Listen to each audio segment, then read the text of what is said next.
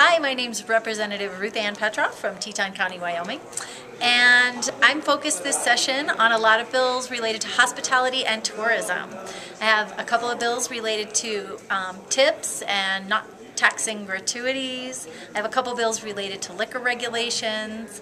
And um, I also plan to fight for funding for tourism. Tourism is the number two industry in the state. It employs 30,000 people and we have a proven return on investment of over $9 just in tax dollars for every dollar we spend. So it's an important, it's important to the state um, and it's um, economically uh, defensible.